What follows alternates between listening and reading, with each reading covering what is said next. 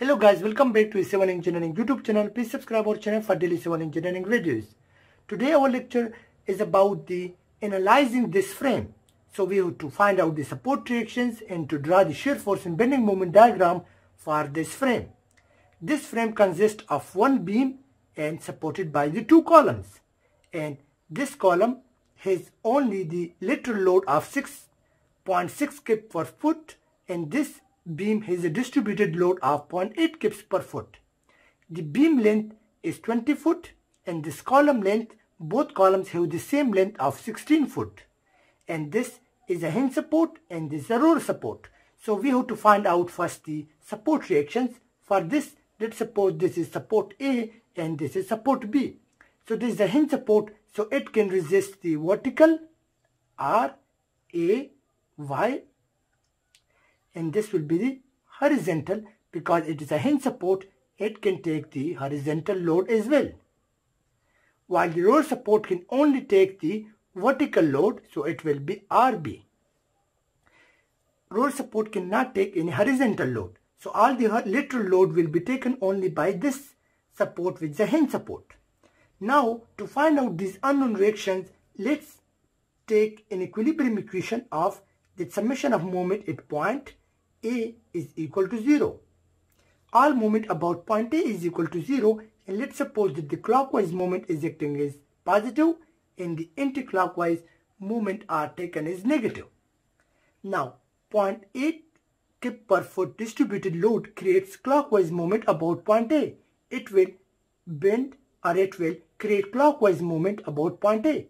So it is a 0.8 distributed load so it is 0.8 kips per foot multiplying with the 20 which is the total length multiplying it with the 10 which is the moment arm for this distributed load because this distributed load will act at the center and the center will be the half of this 20 which will be the 10 10 foot that's why we consider 10 foot here for the moment arm while this acts in a clockwise direction. Similarly, this lateral load acting on the column also create clockwise moment about point A. So it is 0.6 multiplying with the total distance is 16 foot multiplying with the moment arm so it will also act at the center of this column so the center of this column means that the moment arm for this is also 8 foot so 8 because it is 16 dividing by 2 it will be 8. And now the other force that creates a moment about point A is the RB which creates the anti-clockwise moment about point A. So it will be taken as negative because it will create negative, it will create an anti-clockwise moment so it will be taken as negative. It is our sign convention. RB multiplied by the moment arm in the moment arm for the RB is 20 foot. From this point up to this point the distance is 20 foot. So summation of all moments about point A are equal to 0. Now the 20 RB will be equal to 160 plus 76.8. I just transfer this value onto the right side so I got these values and simply 20 RB if I add this it comes out to be 236.8 and RB if I divide this by 20, I got 11.84 kips. It means that the reaction at this end is 11.84 kips. Now to find out the RAY, it is very easy. We just have to take the summation of vertical forces equal to 0. And let's suppose we take that the upward force is taken as positive and the downward force are taken as negative. The only vertical force acting on this frame is this distributed load, while this force is not taken into account because there is a horizontal load on the column. So the vertical load is this 0.8 kips and it is acting downward, so it will be taken as negative. So minus 0.8 multiplied with the 20, which is the whole distance because it is distributed over the whole distance. And the other load acting is RB, which is acting upward, plus RB plus RAY which is also acting in upward direction. So these were all the forces acting in vertical direction and we take only vertical forces into consideration. So summation of all vertical forces equal to 0. We know that RB is 11.84. So we will put this value here. So RAY will become, this will be 0.8 into 20 multiplying with 20 and minus RB which is 11.84 so RAY if I add and subtract these values I got 4.16 kilo kips this is kilopound. So RAY is 4.16 kips so here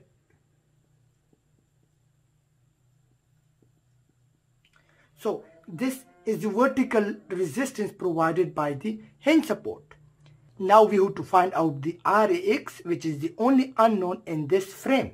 So to find out the RAX, let's suppose that summation of horizontal forces are equal to 0 and let's suppose the force acting in this direction are taken as positive and forces acting in this direction are taken as negative. So the force acting in this direction are is this uniformly distributed load 0.6 kip per foot. So this will be taken as negative. So it will be minus 0.6 multiplied with the whole length on which it is distributed. So it is 16 foot. And then it is plus RAX because RAX acting in the reverse direction to that of the upcoming load. And summation of all the forces are equal to 0 and RAX comes out to be 4 point uh, it comes out to be 9.6 kips so I can write it here comes out to be 9.6 kips so this is the horizontal reaction of the hinge. So in order to draw the shear force and bending moment diagram first we have to draw the free body diagram for this frame which will be the these two columns and this single beam. Now, I will put the loads and the reaction on this free body frame, free body diagram of the frame. So this column is a reaction here of 4.16 kips and horizontal reaction of 9.6 kips.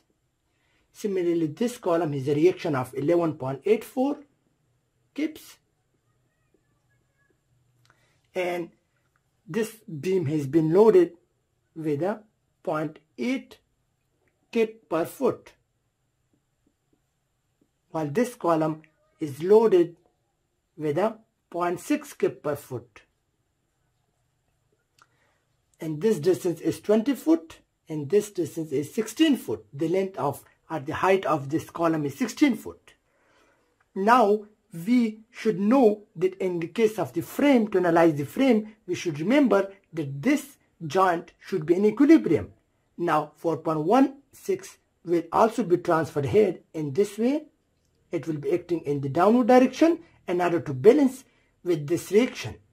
Now similarly to balance, to make an equilibrium this joint, we should transfer this in opposite direction. So this 4.16 will be acting in upward direction and this is in equilibrium now with this downward force of 4.16 acting downward. Similarly, 11.84 is acting upward, so 11.84 will be here acting downward, okay? And in order to make this joint equilibrium, it will also act in upward direction here. So 11.84 will be acting in upward direction. Now after putting all the value of the reaction and the forces in the frame we can draw easily the shear force now. So let's suppose this is again the beam and these are the two columns. We know this force is 9.6 acting in this direction. So we will bring this here up to the 9.6 kips this will be the shear force diagram for this beam for this frame so 9.6 acting here in this direction. And then there is horizontal load of 0.6 kip per foot up to the distance of 16 foot. So 0.6 will be multiplied with 16. It comes out to be 9.6 kip. this force was acting in this direction. So let's suppose this was positive while this force is acting in inward direction. So it will be negative. So I choose this is a negative and this was a positive because we should assign one positive and the other one negative. If this one is positive, the other one which is acting in the opposite direction will be taken as negative. So 9.6 was acting in positive direction. So this makes it in negative direction. So 9.6, it means if we add minus 9.6 to this plus 9.6, it will become 0 here. Because 9.6 was acting in upward in this direction, while this was the other horizontal force was acting inward, so it brings here 0. This was the shear force for this column. This column has no horizontal or the lateral load, so the shear force for this column is 0. Now we remain only with the beam. The beam has the upward reaction of 4.16 at the start. So it is 4.16 it will move. Kip upward and then there is a load of 0.8 kip per foot up to the distance of 20 foot. So 0.8 multiplying with the 20 so it comes out to be, if you multiply these two values, so this comes out to be 16. It means that there is a load of 16 kip acting in the downward direction on this beam. So 4.16 is acting in upward direction and this 16 is acting in downward direction. So if I 4.16 is acting upward and if I subtract the 16 which was acting in downward direction, so I got 11.84 and negative because it is plus 4.16 it is minus 16 so I got minus 11.84 kips so it means I will bring this arrow from this position to the negative 11.484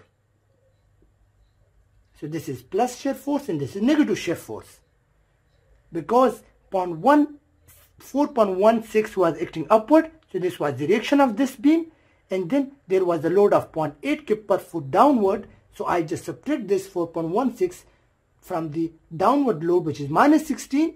So it becomes minus 11.84. So I bring this arrow from 4.16 positive to the negative minus 11.4. So this was the shear force diagram for this beam. Now I will I'll again draw the free body for the bending moment. So it will be like in this way. So this will be the reference lines for the frame. Now to draw the bending moment diagram, I will take help from the shear force diagram. So the area of this box will be the bending moment diagram for this column. This column has a shear box in positive let's suppose direction. So the area, we have to find the area of this shear box. The height is let's suppose 9.6 and this length is 16 foot. We know that the column length is 16 foot. So we have to find the area of this box. Let's suppose this is A1. So we find the A1 and it is a triangle box we see here. So we should find the area. It is half base into height.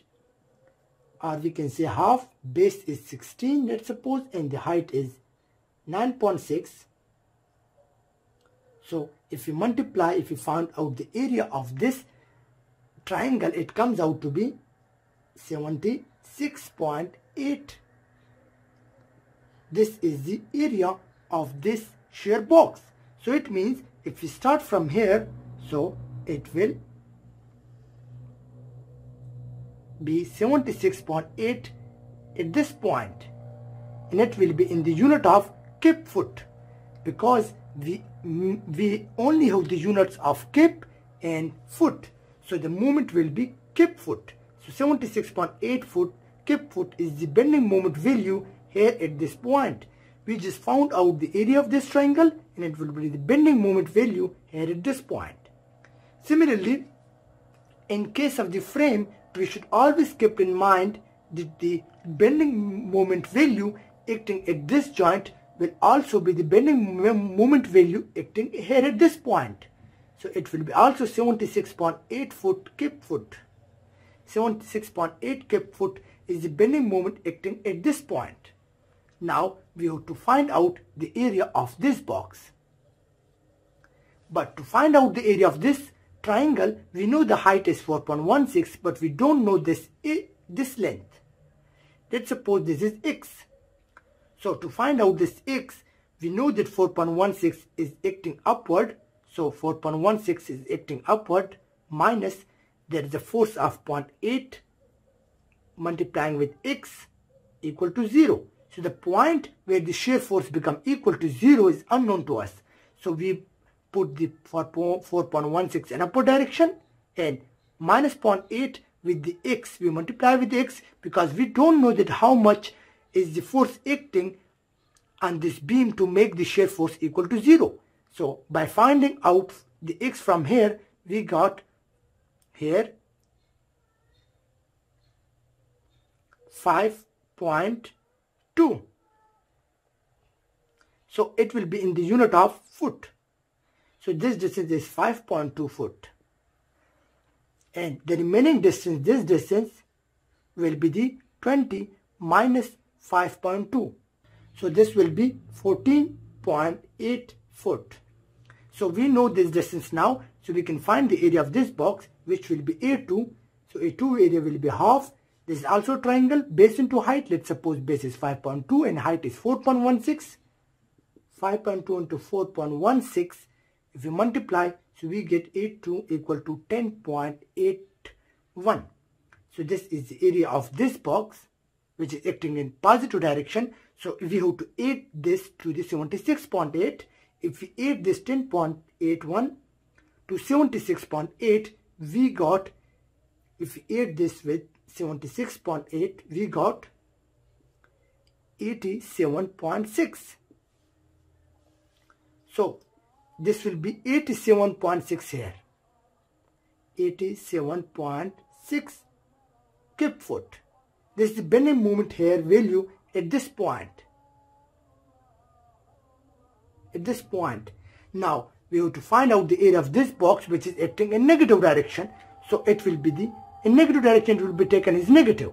So the area of this box will be a3 so a3 will be equal to half base into height base is 14.8 and height is 11.84 so it becomes 87.6 but in negative direction because this box is a negative shear box.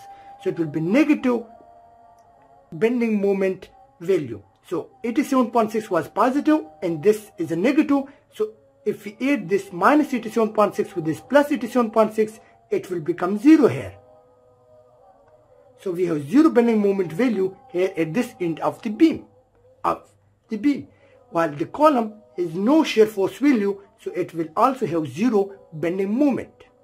Hope you guys understand how to draw the shear force and bending moment diagram and don't forget to subscribe our channel for daily civil engineering videos. Thank you for watching our video.